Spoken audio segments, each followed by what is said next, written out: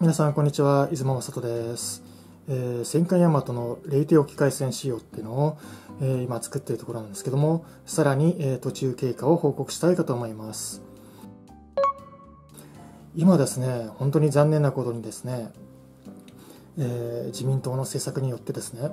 え東京の上空がですね飛行機の増便で年中飛行機が通過してるんですね。しかもあの低空なもんですからかなりの騒音があったりとかえー、公害があるんですけどね、えー、毎日ちょっと辛いなという気分があるんですね。まあ、なのであの改善してほしいなと思ってあの国土交通省の方には抗議はしてるんですけども、まあ、何せ、ね、お役所仕事みたいな感じであの全然先に進まないような感じなんですけどね、まあ、ちょっと気分が悪いですし、まあね、冷静に考えちゃうとねともすればね、体調も悪くなるぐらいのことなんだけど、まあ、そうは言ってられないないので、えー、気分は取り直していきたいかと思います。で、前回ですね、説明したところで、まだ足りてなかったところっていうのを、さらに補足というところで、えー、説明したいかと思いますね。で、前回ですね、あの、環境部分のポリキャップを入れない方がいいってあの言ったんですけども、で、これ見ていただいて分かりますかね？こう曲がった入ってないんですね。でポリキャップを使わないとこういう感じであの曲がらないで綺麗に入るんですね。これですね、ポリキャップの部分と、あの、このなんて即興機の部品っていうのがですね、ちょっと整合性のない感じになっているんで、ポリキャップを使うとあの曲がって入っていくところがあるんですね。まあ、なので使わないとこういう感じで綺麗に入るっていう、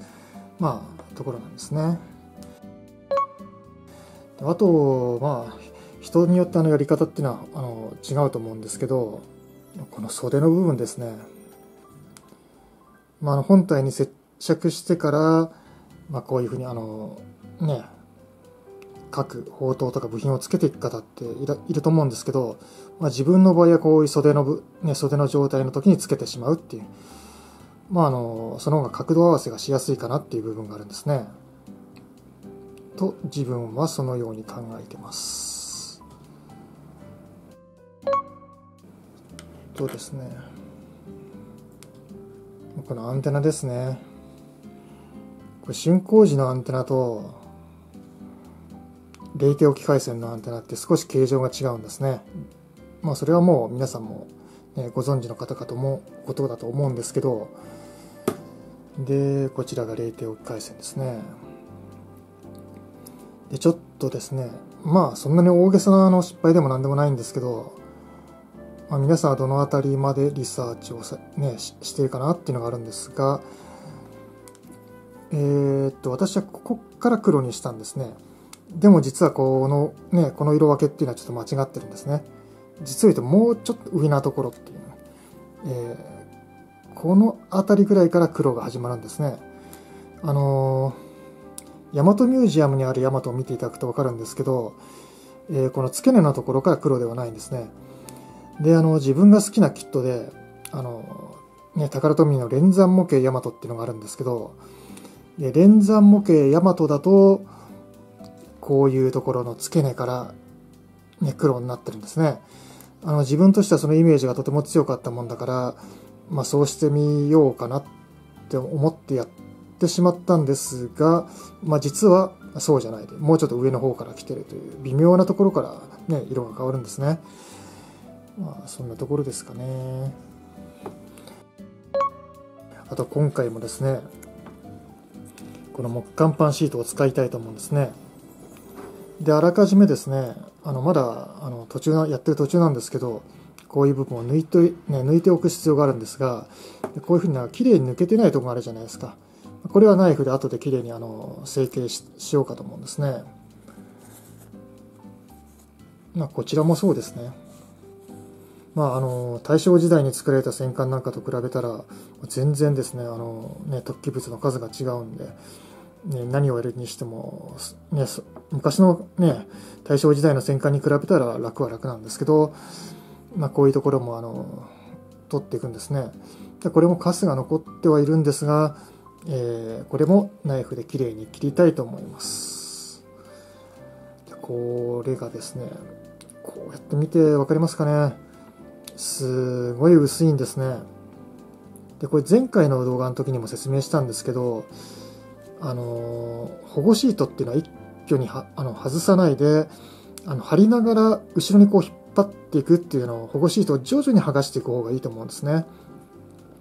というのはですねこれがあの極薄なんですよ。なのでそんなに強度がないんですね。なので、えー、保護シートを剥がしてしまうとあのペラペラなところがあるんでこう例えばですねこういじっててですねあのどっかにこうペタッとこうくっついちゃったりとかしたとするじゃないですか。でこう剥がそうと思ってギュッてやったらこう、ね、ベリベリってこう、ね、割れちゃったりとかしたらそれはそれで嫌ですよね、まあ、なので保護シートがついてるままあの作業に入ってですね後ろの方へ引っ張っていくっていう感じが私はいいと思います。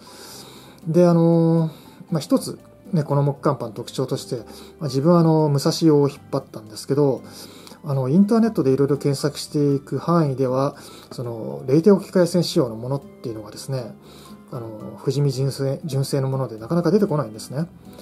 まあ、なので、まあ、武蔵のものを当てるというふうに考えてます、まあ、基本的には同じですからねあの甲板自体はただまあ付属のネームプレートが武蔵のままになっちゃってたりはしますけど、まあ仕方がないんでね。で、まあ、そんなとこですかね。で、まあ前回やったことなんですけど、このまあ丸ぐらいは抜けるんですけど、まあここにも抜くところがあるんですけど、そうするとですね、もう本当にこの付け根がですね、本当にわずかしかないんですよ。まあ、そうするとですね、もう綺麗に剥けなかったりとかすることもあるので、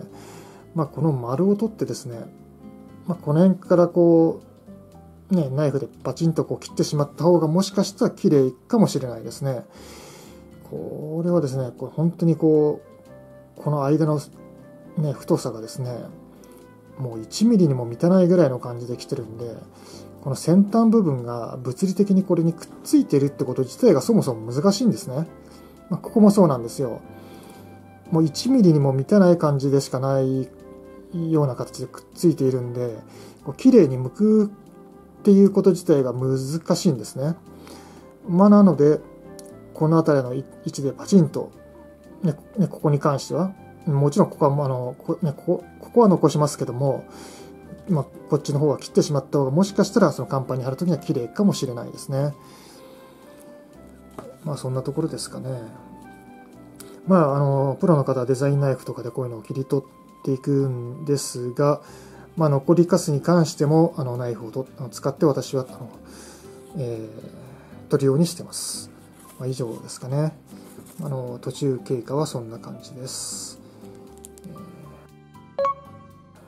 もしよろしければ、あの、いいねボタンを押していただけるか、チャンネルフォローをしていただけると大変に助かります。えー、私の励みになります。あの、どうも、これからもあのよろしくお願いします。えー、本日は以上になります。